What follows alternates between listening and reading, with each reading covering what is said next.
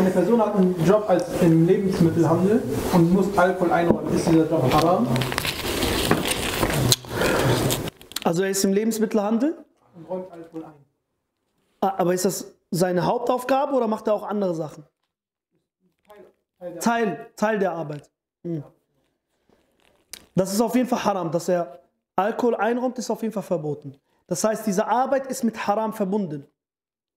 Ist nicht absolut haram. Nein, ist mit haram verbunden.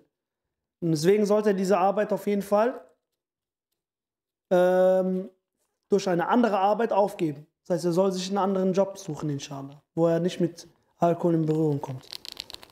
Ja.